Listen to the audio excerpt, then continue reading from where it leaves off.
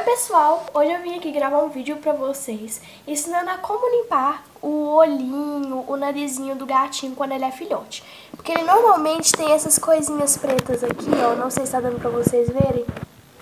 Essa sujeirinha preta aqui no nariz, igual a dela, dessa aqui, tá vendo? Esse aqui não tem, ó. Esse aqui também tem um pouco, mas aquele amarelinho ali não tem. Tá vendo a diferença do narizinho deles? Eu vou ensinar a limpar e também a limpar a remelinha que fica no olhinho deles quando eles são filhotes também. Tá vendo que esse aqui... Peraí, deixa eu pegar ele direito. Esse aqui, ele não tem a sujeirinha no nariz. Enfim. Bom, eu normalmente limpo com algodão e água. Tanto o olhinho quanto o nariz. E sai toda a sujeira. Bom, pessoal, com os dois algodões molhados, agora eu vou vir e limpar o narizinho dela. Não sei se tá dando pra vocês verem. Não pode estar muito molhado, tá, pessoal?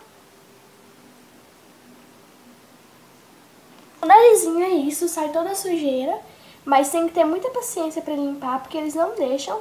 Enfim, depois eu vou terminar de limpar o narizinho dela. Ó, saiu isso aqui. E com outro algodão, fica a preferência de vocês. Se vocês quiserem com o mesmo, mas eu não gosto muito, então eu limpo com outro.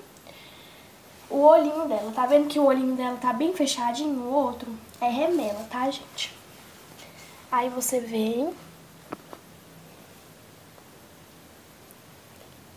E vai limpar, limpando o olhinho, passando algodão.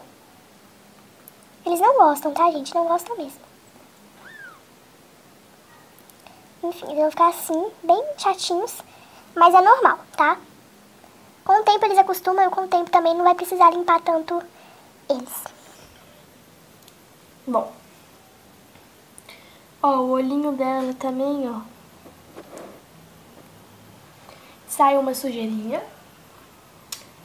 Enfim, bom, é isso. Gostou? Não se esqueça de deixar o seu like e se inscrever aqui embaixo no canal se não é inscrito. Um beijão e até os próximos vídeos. Tchau!